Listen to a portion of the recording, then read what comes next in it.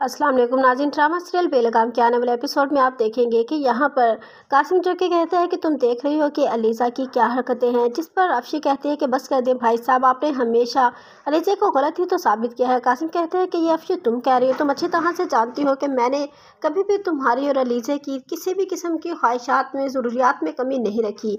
लेकिन अगर फिर भी मुझसे कहीं कोताही हो गई है तो मैं माजत करता हूँ। लेकिन यह मेरा मामला नहीं है। अफशी कहती है कि बस कर दे, भाई, अगर आपने रमशा की जगह, अफनान की जगह अगर अलीजे का भी साथ दिया होता तो ये सब ना होता। आपने हमेशा रमशा की फेवर की और आपके बेटे ने भी। दूसरी तरफ़ आप देखेंगे कि यहाँ पर रमशे के पास अफनान आता है तो कहते हैं कि, देखो रमशा, तुम इस तरह से क्यों आखिर तुम घर छोड़कर जाना चाहती हो? रमशा कहते हैं कि, देखो अफनान, मैं नहीं चाहती कि मेरी वजह से तुम्हारी ज़िंदगी ख़राब हो।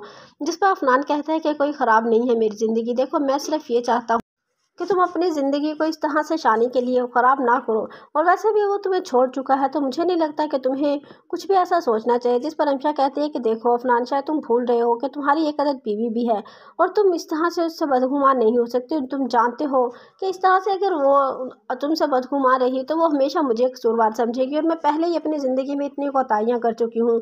मैं नहीं चाहती कि तुम्हारा घर ख़राब होने का इल्ज़ाम भी मुझ पर आए। अफनान कहता है कि मुझे फ़र्क नहीं पड़ता कि कोई क्या सोचता है, लेकिन अमशा मैं तुम तुम्हें इस तरह से तनहा नहीं छोड़ सकता। रमशा कहती है कि देखो, हमारी मंजिलें अलग हैं, हम कभी भी इस तरह से एक दूसरे की बात नहीं मान सकते जिस तरह से तुम चाहते हो। तुम जानते हो कि अलीज़ा तुम्हारी बीवी है और उसका हक है तुम पर और मैं तो अपने सारे हक के खो चुकी हूँ।